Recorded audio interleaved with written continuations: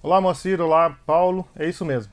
Estamos aqui numa missão especial, numa produção especial, trazendo essa pauta muito importante que é a eleição do SISMUF, o Sindicato dos Servidores Municipais de Foz do Iguaçu. A eleição vai ser no próximo dia 3 de março, na próxima sexta-feira, e a gente recebe hoje eh, os candidatos a, a, presidente das duas chapas, tanto da chapa 1 quanto da chapa 2. O SISMUF, né, que representa boa parte, a maioria do funcionalismo público de Foz do Iguaçu, então é um sindicato muito importante para a cidade, porque o funcionalismo público são mais de 6 mil, 7 mil servidores e o SISMUF representa boa parte deles. Então mexe com, com toda a estrutura dos serviços públicos de Foz do Iguaçu e, por que não dizer, com a economia e outros setores, né? Aqui conosco está hoje a Maria Judite Blum, que é candidata a presidente pela Chapa 2. Sim. Bom dia. Bom dia. Obrigada pelo convite. E vamos apresentar algumas propostas nossas da Chapa 2, né? Nós que agradecemos a sua vinda aqui. Posso é Judite? Mais conhecida é, como Judite? Judite, é melhor, né? Mais conhecida como Judite. Então, eu gostaria primeiro que a senhora se apresentasse, né? Quem é a Judite, que é a candidata a presidente pela Chapa 2? Bom, eu sou professora, aposentada, me aposentei em 2022. É, sou fundadora do SISMUF, né? Eu, Luiz, a Nídia, Cacilda, a gente fundou o Sismuf e fazem 12 anos que a gente né, deixou para o pessoal que aí está. A gente é, deixou uma estrutura muito boa, uma sede administrativa no centro, a sede social. E aí agora, como surgiu essa, essa, esse convite para mim, porque na realidade eu fui convidada a ser a presidente da, da chapa devido à morte do Marcelo Arruda, que essa chapa era uma chapa do Marcelo Arruda. Aí, como me convidaram, eu me propus, vou, estou aí com um grupo de pessoas muito boas, são funcionários de todos os setores da prefeitura, comprometidos, é, gente jovem, com sangue novo. Então, a gente quer é, melhorar a vida do servidor. É isso que a gente se propõe. Justamente nisso, eu acho que tem um pouco da pegada no material de vocês, uhum. eu percebi no material de divulgação de, campanha, justamente essa palavra de ordem, né? O SISMUF precisa mudar, uhum. chega de servidor, ou chega de servidão, desculpa, né? Chega de servidão, mais servidor e menos gestor. Traduz um pouco para a gente o que, que isso, essas palavras de ordem significam. Esse mais servidor é porque hoje, eu vou te falar o que eu sinto hoje, porque eu sou servidor e eu, eu procuro o SISMUF e eu não tenho atendimento. Então a gente vê assim que o mais servidor é quando o servidor vai até o SISMUF, é porque ele já está com um problema que ele não consegue resolver sozinho, ele precisa de ajuda. E aí quando ele chega lá também não tem ajuda. Então assim, é, Parece que o SISMUF hoje ele não é o sindicato do servidor, ele é o sindicato do gestor, né? O que o prefeito quer é feito e o que o servidor quer não é feito. Então é isso a gente não quer. A gente se propôs, eu até conversei com o pessoal, eu só entraria se fosse para a gente lutar por melhorias para os servidores. É, hoje mesmo nós estivemos na Câmara dos Vereadores porque estão querendo fazer uma reforma na Previdência do servidor é, cobrar uma alíquota maior de todos os aposentados, nós não temos essa dívida. Nós pagamos a vida inteira para nos aposentar, aí chega agora a gente vai, vai ter que pagar uma nova alíquota porque é, o fundo não tem dinheiro. A culpa não é nossa, a culpa não é do servidor. E isso a gente não vai deixar. Justamente esse, esse projeto de pauta né, da reforma da Previdência talvez seja um dos principais, se não o principal assunto do momento, né? Que Sim. vai mexer com toda a vida de quem está no funcionalismo, de quem, e tá de quem em, já aposentou. De quem já aposentou e ainda de quem vai aposentar. É um projeto do prefeito Chico Brasileiro, tá para ser é, votado na Câmara de Vereadores. Qual que é a posição da Chapa 2 em relação a essa proposta? Olha, eu, eu já fui eu fui a primeira conselheira fiscal do FASPREV na, no início do plano do, do, do, do FASPREV. Fui por dois mandatos conselheira.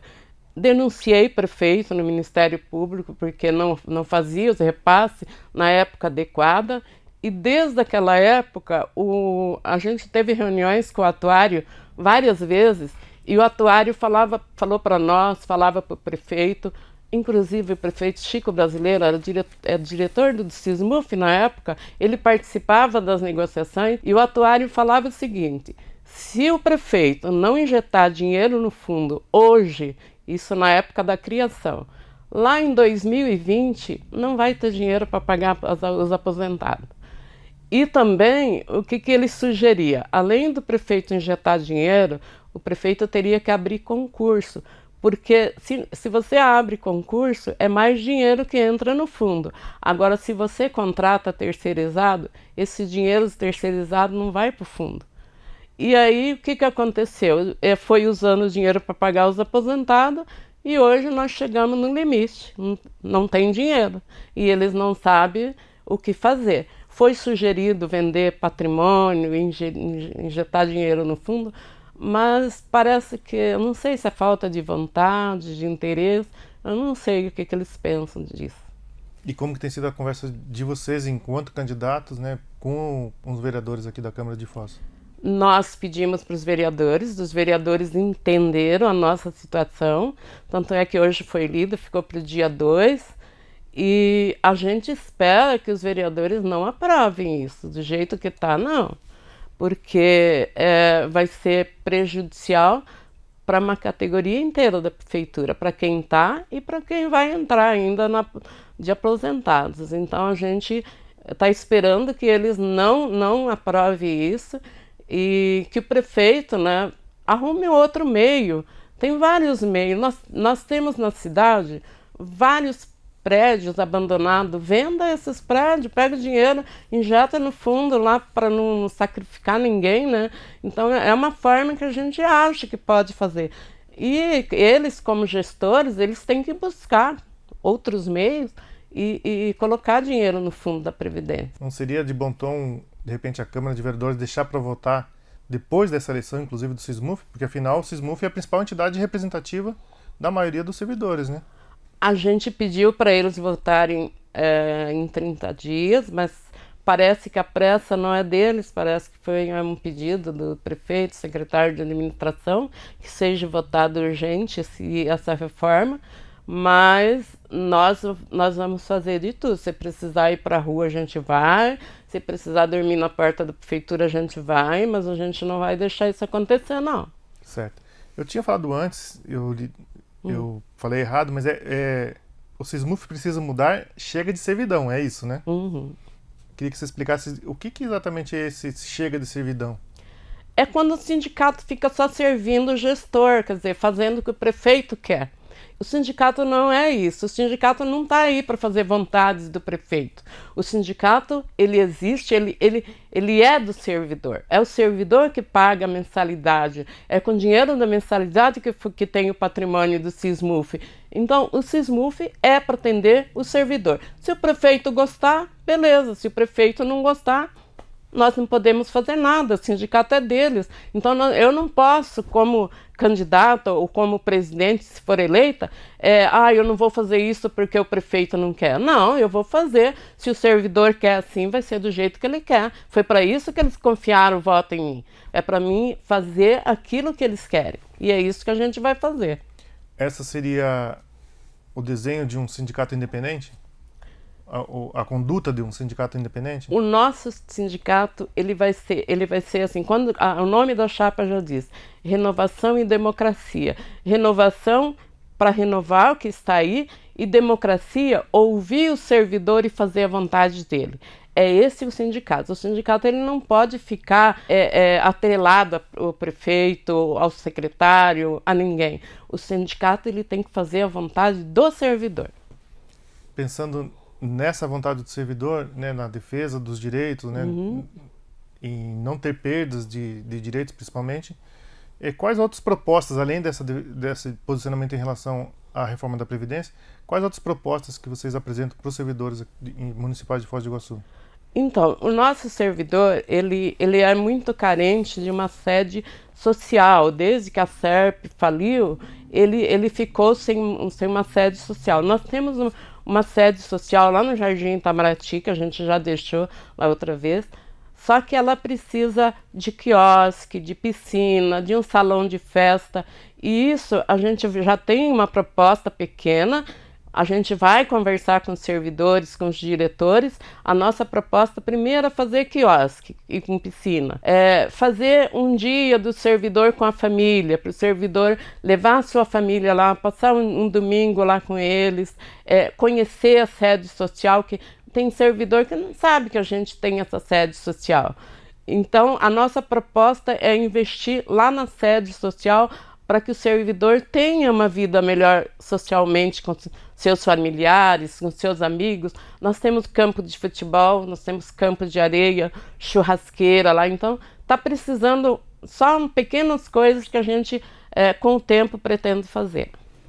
Além da, então dessas duas agora, né, falando da sede social e uhum. da reforma da Previdência, algum, algum outro direito a ser preservado ou algo a ser conquistado que vocês planejem para os próximos anos? Para os servidores? Sim. Nós temos é, é, assim várias carreiras que não, não foram criadas ainda. Os servidores eles fizeram concurso, estão, mas eles não estão no plano de carreira porque não tem a carreira criada. Então a gente pretende recriar essas carreiras dos servidores, né? Conversar com o advogado, montar tudo certinho. É, a gente pretende também, é, hoje, nós temos é, servidores eles estão fora da função. Então, a gente também não quer isso. Eu acho assim: você não pode colocar um médico para fazer é, é, o trabalho de, de, um, de um vigia, ele não vai. Né? Então, o servidor, se ele fez um concurso para fazer tal coisa, se ele fez concurso para administrativo, ele tem que ir para o administrativo, ele não pode ir para a educação. Né? E hoje tem algumas carreiras na prefeitura que acontecem isso. Certo, Judite. Judite, já caminhando aqui para nossa reta final, a gente tem um tempo previsto de 15 minutos para cada chapa. Eu queria que você falasse o que, que diferencia a chapa 2 da chapa 1, já pensando no, no eleitor que vai votar, no funcionário do servidor público que vai votar. Olha, eu sou do sindicato raiz, o sindicato que vai para a luta, que vai reivindicar os direitos dos servidores.